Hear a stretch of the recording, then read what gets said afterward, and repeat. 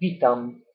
Mój kolejny film jest poświęcony mojej e, abstrakcji, którą stworzyłem nie tak dawno.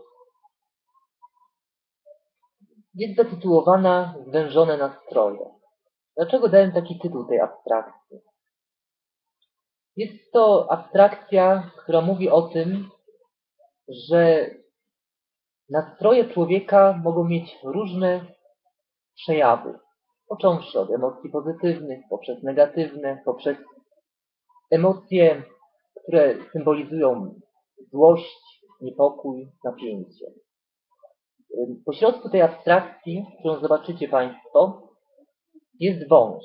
Wąż, który jak gdyby w barwach, wielokolo- w różnych barwach prezentuje nam swój jak gdyby charakter.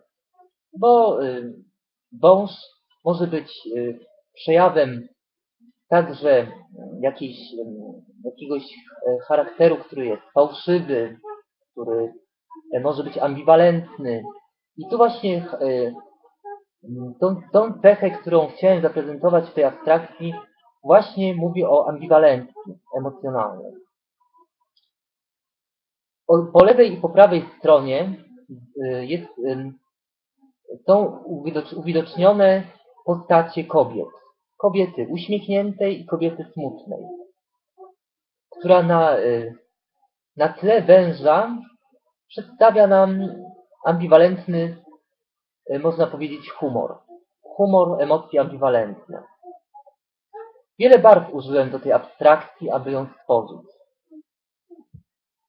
Emocje mogą być zróżnicowane pod względem ambiwalencji, odczuwania poszczególnych faz, y, uczuć, jakie człowiek przejawia w sobie.